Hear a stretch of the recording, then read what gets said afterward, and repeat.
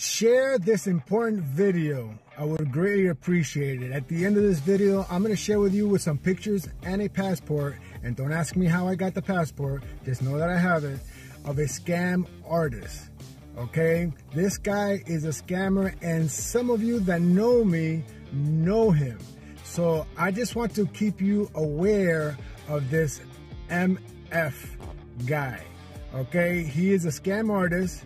He scanned me at the end of the last year. I should have done this video a long time ago, but um, I'm gonna share with you at the end of this guy.